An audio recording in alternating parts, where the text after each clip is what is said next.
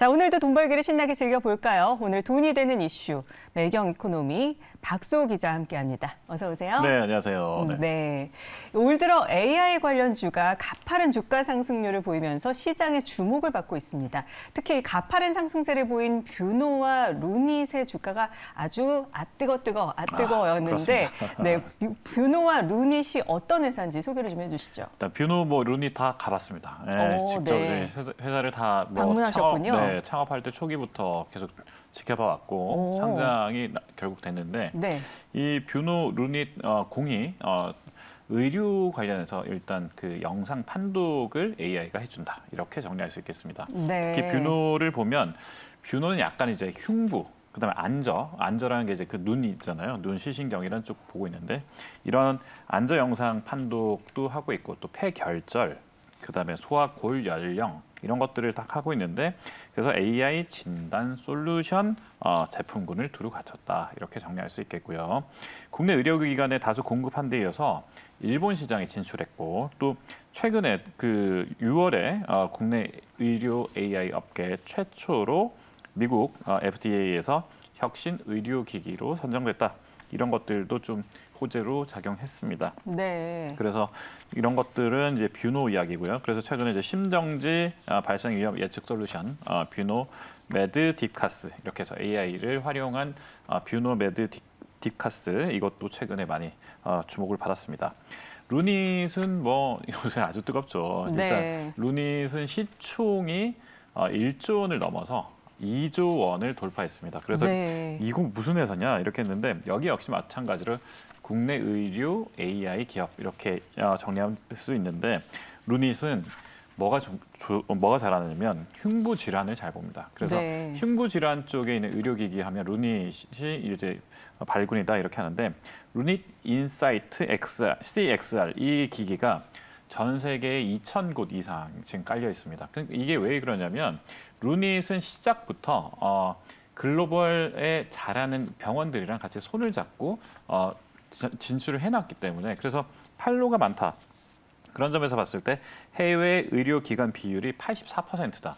그러니까 시작부터 글로벌 진출을 했던 AI 기업 중에서는 의료기기 업체 중에서는 루닛이 굉장히 잘한다. 이런 것들이 좀 어, 일반 어, 투자자들한테 부각되면서 루닛이 또 시총 2조 돌파하는데 기여를 했다. 이렇게 정리할 수 있겠습니다. 네, 이렇게 시장이 확대되고 유망 기업이 많아지면서 AI 관련주에 대한 투자자들 관심이 더욱 커지고 있는데요. 제2의 뷰노와 루닛이 어디인가를 궁금해합니다. 그래서 네네.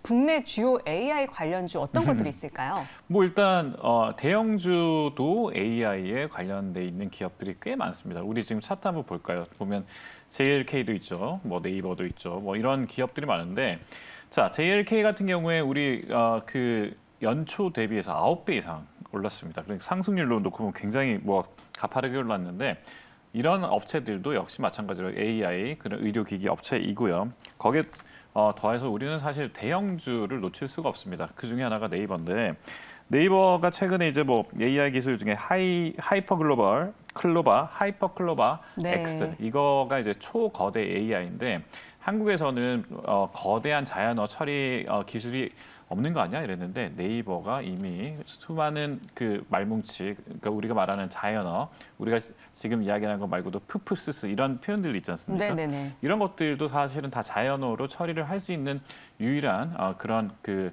전 세계에서 어, 검색 채널 일로 저기 소통 하고 있기 때문에 이런 그 거대한 빅데이터를 기반으로 해서 네이버가 지금 하이퍼클로바 X를 가지고 초거대 AI를 사업을 진행하고 있어서 네이버 유망 기업으로 지금 떠오르고 있고요. 네. 또 뭐 SK 하이닉스 이러면 뭐 우리 반도체 회사 뭐 그냥 메- 메모리 반도체 회사로 알고 있습니다만 SK 하이닉스 역시 마찬가지로 어, 통합 반도체 그리고 또 AI 전용 반도체 이런 쪽으로 해서 굉장히 지금 각광받기 시작했다 그랬는데 네. 특히 이제 엔비디, 엔, 엔비디아가 지금 사실은 뭐 해외에서 굉장히 유망하지 않습니까? 그렇죠. 엔비디아의 그래픽 저장 장치에 들어가는 핵심 부품은 사실은 SK 하이닉스가 담당하고 있다. 네. 이런 것들을 보면 이제 SK 하이닉스 그냥 무시할 수 없다 이렇게 할 수 있겠고요. 어 그리고 또 엔비디아에 계속해서 이야기할 수밖에 없는 게 뭐 이수 페타시스 많이 들어봤습니다. 그렇죠. 이 인쇄 회로 기판 그러니까 PCB를 이렇게 여기서 공급하고 있는데 이 이수 페타시스도 엔비디아 관련주. 그러니까 결국 이제 AI 관련주가 되는 거고요. 또 HBM 그러니까 고대역 폭 어, 메모리 이게 요새 지금 뜨고 있지 않습니까? 그래서 네. HBM 이쪽에서 핵심 장비 생산하고 있는 한미 반도체 이런 쪽도 AI 의 관련주 이렇게 또 표현을 하고 있습니다. 여기에 오픈 엣지 테크놀로지 이런 것들은 이제 연초에 투자가 굉장히 많이 몰렸지 않습니까? 네. 여기도 AI 어, 관련해서 반도체 설계 자산 기업 이로, 이로 그러니까 설계 자산이라는 게 IP잖아요.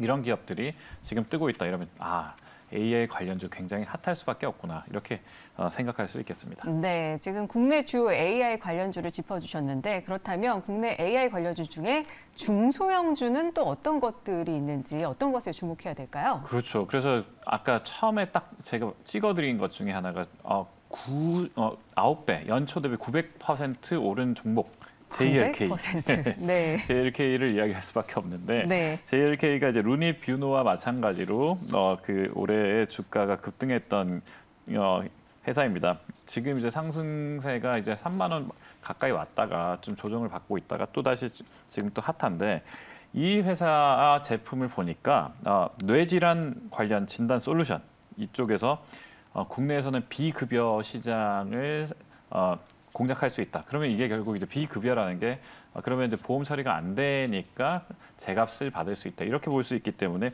이 부분에 대해서 좀 긴, 어, 기대감이 높고요. 네. 또 여기에 미국 시장 진출 기대감이 또 있어서 루닛 제2, 제3의 어, 루닛 뷰노다 이렇게 이야기하는 어, 업체들이 많습니다. 네, 그렇군요.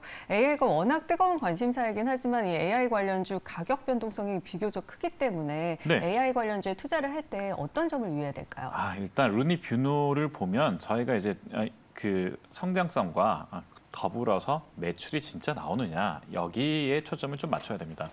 네이버나 뭐 LG전자나 뭐 많은 그 기업들이 초거대 AI를 만들 때 보면 돈이 많이 들잖아요. 그 이런 것처럼 마찬가지로 JLK 같은 회사 이런 쪽도 이제 그 매출을 좀 봐라.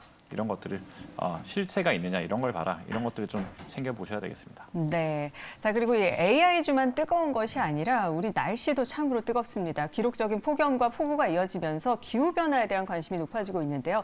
이 국내 주식시장에서 거래 중인 기후 환경 관련 ETF 어떤 것들이 있을까요? ETF 저도 찾아보니까 되게 네. 재밌었어요. 그 기후 변화라는 이름 자체를 야 ETF에다가 만들었냐 이렇게 보는데 저희가 보니까 이제 이- 기후 환경 관련 ETF는 다섯 개 정도 정리가 됩니다.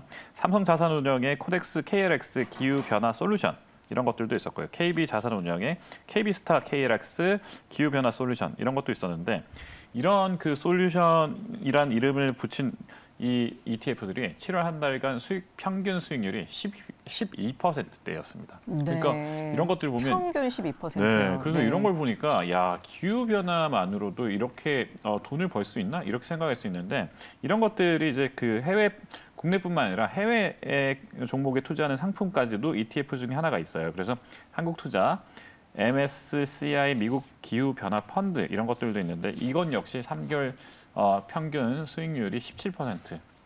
이런 것들을 보면 네. 야, 이 기후 변화가 상당히 어, 주가에도 영향을 받는구나. 또 이게 투자 상품이 될 수 있구나.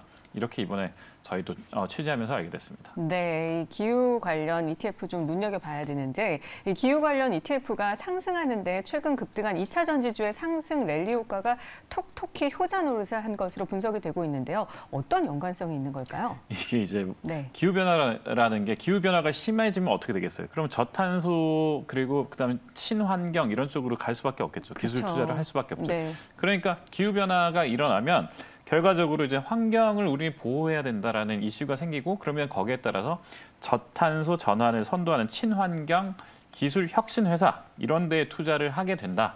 그럼 결국 뭐겠습니까? 전기차나 이런 게 되는데 이게 결국 2차 전지가 되는 거고 네. 그러다 보니까 어, 기후 변화가 심해지면 2차 전지주가 급등한다 이런 논리가 새- 최근에 이제 만들어지는 겁니다. 네, 이 기후 변화 관련 ETF 투자 전망은 과연 어떤지 우리가 어떻게 전략을 좀 세워보면 좋을까요? 네, 일단 뭐 ESG에서 한번 큰 바람이 불었고요. 거기에 더해서 이제 친환경 테마 ETF 이런 쪽으로 해서 지금 계속해서 더, 어, 더 커지고 있기 때문에 지금 또 뭐 어차피 잼버리에 대해 보면 뭐 폭염, 폭우 이런 것들 굉장히 심하지 않습니까? 심각하죠. 네, 이런 네. 이야기들을 다 보고 있으면 기후 변화에 대한 관심도 친환경 관련해서는 계속해서 주목을 받을 수밖에 없다. 이게 전문가들 어, 논리입니다. 네, 그렇군요. 자, 그런가 하면 2차 전지로 쏠렸던 증시 수급이 조금씩 완화하면서 바이오주 반등 기대감이 커지고 음. 있는 가운데 자산운용사에서 이 바이오 액티브 상장지수 펀드를 잇따라 내놔서 주목을 받고 있는데요. 네네. 대표적인 바이오 액티브 ETF가 어떤 걸까요?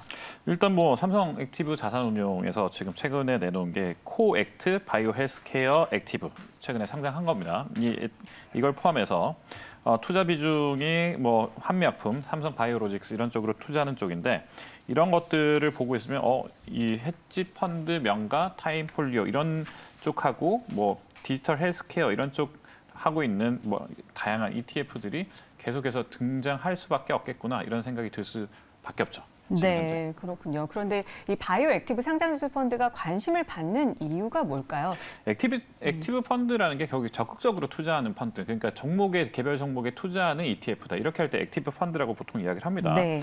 시장에서 이제 2차 전지주에 쏠림 어, 쏠림 현상이 있었다가 아, 네. 여기서 이제 차익 실현을 하고 난 다음에 어떻게 하겠습니까? 네. 그다음에는 2차 뭐가 전지 다음은 그렇죠. 바이오다. 네, 바이오다. 네. 이렇게 생각을 할 수밖에 없는데 그래서 주가 상승 가능성을 높게 보고 여기가 이제 바닥이다. 이렇게 해서 바이오주에 지금 ETF가 액티브 펀드 형식으로 많이 지금 진입하고 있습니다. 네. 이 코스피에는 바이오 패시브 ETF가 14개 상장이 돼 있지만 액티브 ETF는 처음인데요. 이 바이오 액티브 ETF의 특징이 뭔가요? 일단 펀드 매니저가 직접 이제 그 개별 종목의 퍼센테이지를 딱 나눠가면서 직접 투자한다. 이게 이제 어 액티브 그러니까 실질적인 투자를 하기 때문에 액티브라는 표현을 씁니다. 그래서 신한 자산 운용 이런 데서 이제 의료기기, 소재, 부품, 장비 이런 기업에 집중하는 SOL 그러니까 솔이라고 하죠. 솔 어, 의료기기 소부장 FN ETF를 어, 조만간 또 내놓기로 했습니다. 그러니까 삼성에 이어서 신한에서도 맞불을 놓기로 했는데 이런 액티브 펀드가 바이오를 중심으로 내놨다 이런 것들을 보면 바이오 자체가 이제 바닥이고 앞으로 이제 오를 일만 남았다 이렇게 볼 수 있다 이렇게 정리할 수 있겠습니다. 네. 그렇다면 바이오주 투자 전망 어떨까요? 자 일단 제가 네. 그래서 최근 일주일간 한번 찾아봤습니다. 네. 최근 일주일이라는 게 7월 27일부터 8월 4일까지를 놓고 봤는데 한국거래소 그러니까 KRX에서 이제 헬스케어 지수가 얼마나 올랐는지 산업지수에서 KRX 300 헬스케어 지수를 보니까 일주일 만에 9.42% 이렇게 상승률을 기록했습니다. 그러니까 네. 전체 KRX의 그 개별 그 종목들이 있고 거기에 따라서 이제 섹터들이 있는데 그 섹터들 중에서는 전체 1위를 기록했습니다. 이런 것들을 놓고 보면 KRX 300 지수에서의 바이오와 관련돼 있는 이 어, 펀드들이나 아니면 과- 바이오와 관련돼 있는 이 상품들이 그 종목들이 서서히 오르기 시작하는데 8월 들어서 특히 이제 여름 들어서 핫하게 지금 같이 떠오르고 있다 이렇게 정리할 수 있겠습니다. 네, 바이오주, 바이오 액티브 ETF 좀 눈여겨봐야겠습니다. 자, 지금까지 돈이 되는 이슈 매경 이코노미 박수호 기자와 함께했습니다. 오늘 말씀 고맙습니다. 네, 고맙습니다.